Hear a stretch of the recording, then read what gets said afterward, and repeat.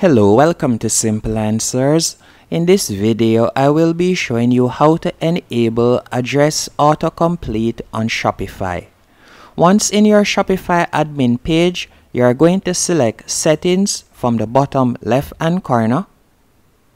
After selecting settings, you are going to select checkout from the menu option on the left hand corner.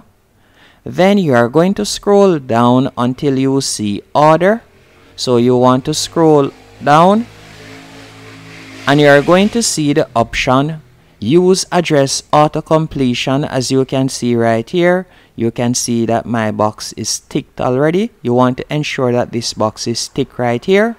Then you are going to select save in the top right hand corner and that's it.